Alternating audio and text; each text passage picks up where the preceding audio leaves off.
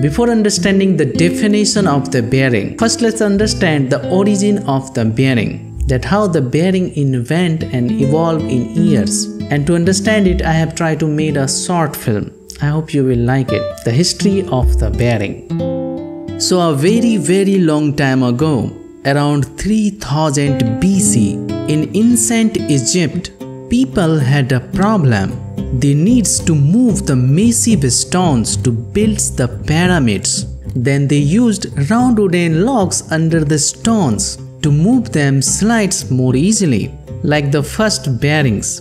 And to make this even smoother, they used water as a lubricant.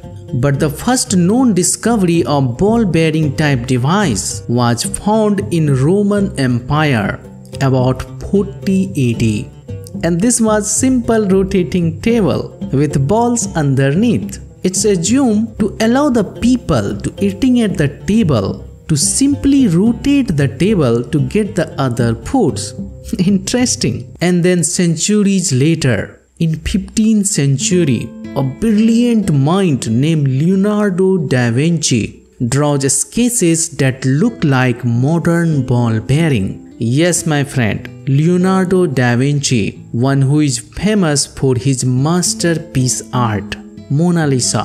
Surprisingly, he was an artist as well as also an inventor and his work was a big step towards better bearings. But the problem was the contact and friction between balls. And then later in 17th century, Galileo Galilei described the cage of the ball. Yes, we know him because of their telescopic invention. And then finally in 1794, United Kingdom, Philip Vaughan, a British inventor and iron master, patented the first modern ball bearing design. And in August 1869, Europe, a smart person, a Parisian bicycle mechanic named Jules Suriray made important discovery and patent radial style ball bearing. In 1868, in the world first bicycle road race, the ball bearing were fitted in winning bicycle. Ridden by James Moore, and he wins the first official cycle race in the world.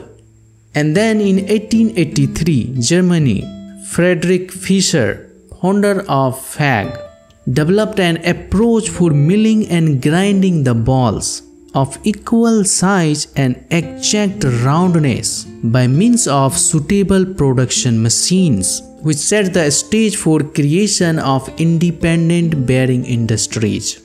And then in 1898, a man named Henry Timken, visionary and inventor, invented roller bearings. These were like a magic because they could carry really heavy things. Trains and cars start using them and changing the transportation a lot. And in the same year, Henry Timken patented the taper roller bearing. And in early 20th century, the modern self-aligning design of ball bearing is attributed to Sven Wingquist of the SKF ball bearing manufacturer in 1907 when he was awarded Swedish patent number 25406 on its design. And later in 20th century when we started exploring space during the space age we needed a special bearing and scientists invented new materials like ceramic and super strong metals for space bearings. These bearings had to survive the vacuum and extreme temperature of space. And now we are in 21st century. We are in digital age. Bearings have been smart with sensors. Now they can tell you when they need maintenance, helping the machines work well. Thank you so much for your time and watching this. I also want to thank these AI tools and these awesome websites for their beautiful images and footage. making these videos was completely different experience and I also want to know that what you are feeling about this video. So in next video, what is the bearing? Let's deeply understand it. Thank you so much for the watching.